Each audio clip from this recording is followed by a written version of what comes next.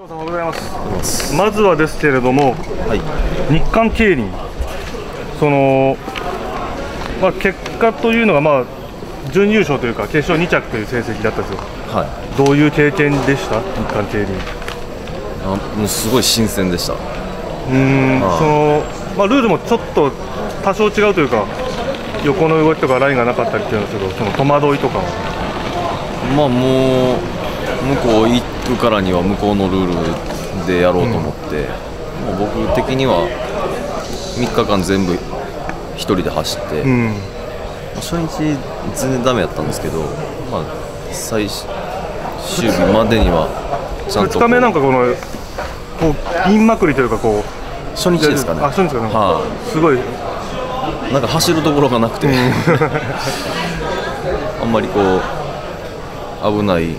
こともできないし、ん。まあでも良かったんじゃないですかね。結果的にまあ、韓国の選手の交流というかそういうのもあ。刺激になるというか、はあ、もう向こうの選手がもう自分が思ってた以上によくしてくれて、あで日本の選手にもすごい興味がある感じだったんで、まあ、それで逆に僕も向こうの選手に興味も持ちましたし、まあ、また来年呼んでもらえるなら走りたいなと思いながら帰ってきました、は本当そういうのが自転車の通じていいものというか、うん。いまあ、僕もたまにそう取材できて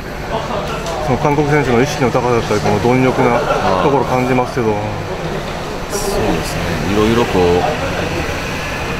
ちゃんと見てるんやなっていうのに一番びっくりして、まあストイックでしたね、そういう経験をしつつ、まあ、日がなくなりますけど6レースですね。一応近畿で伊藤誠樹さんと、はい、ちょっとまあ話されてかなという。あ最高のとこ走るんですね。そうその S 班が結構もう本当バラバラにこうなるような、うん、でまあ渡辺裕太さんエビちゃんとか、まあ、自動番組っぽい、話して、うん、頑張ります。体調面じゃ日韓系にから崩さずに。そうですね。まあ本当に体調整えてきた感じです、頑張ります、はい